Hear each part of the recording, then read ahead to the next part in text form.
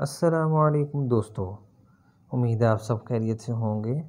अच्छा जी तो आज हम बात करेंगे एपिसोड नंबर नाइन्टी फाइव के, जो सेकंड ट्रेलर आया है उस पर।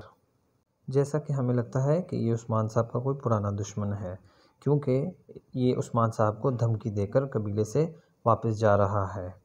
और फ़र्स्ट ट्रेलर में इस शख्स ने कहा था कि उस्मान भाई, अब हमारी मुलाकात हो ही गई आखिरकार। और अब हम बात करेंगे कि एपिसोड जो नए आने वाला है, उसमें काफ़ी नए किरदार दिखाए जा रहे हैं। और दूसरी तरफ़ उस्मान साहब अपने कबीले में इनकी बेटी फ़ातिमा की, जिसकी अभी न्यू एंट्री हुई है, उसके साथ हंस खेल रहे हैं और मज़ाक कर रहे हैं। और उसी तरफ़ कबीले के अंदर उस्मान भाई के आने वाले मेहमान अली भाई की एंट्री होती है, जो किसी दूसरे कबीले से हैं। और वो इस ज़मीन पर उस्मान साहब के साथ मिलकर काम करने आ रहे हैं।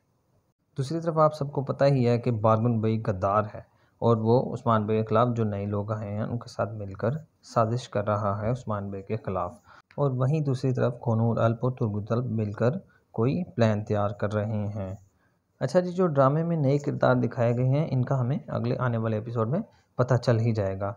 और वहीं पर तुर्गुत साहब को जाल में फंसाया गया है और वही जो नया किरदार ड्रामे में आया है, उसी ने तुर्गुत भाई पर हमला किया है। और वो तुरगुत भाई को शदीद ज़ख्मी कर देते हैं। ये भी हमें पता चल जाएगा कि तुरगुत भाई क्या शहीद होने जा रहे हैं।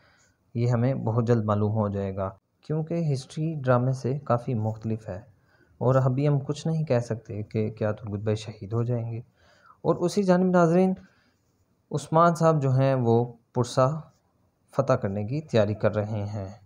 अगर आपको हमारी वीडियो पसंद आए तो कमेंट्स में लाजमी बताइएगा कि हम नेक्स्ट भी रिव्यू वीडियो बनाते रहें। बहुत शुक्रिया। अल्लाह हाफिज़।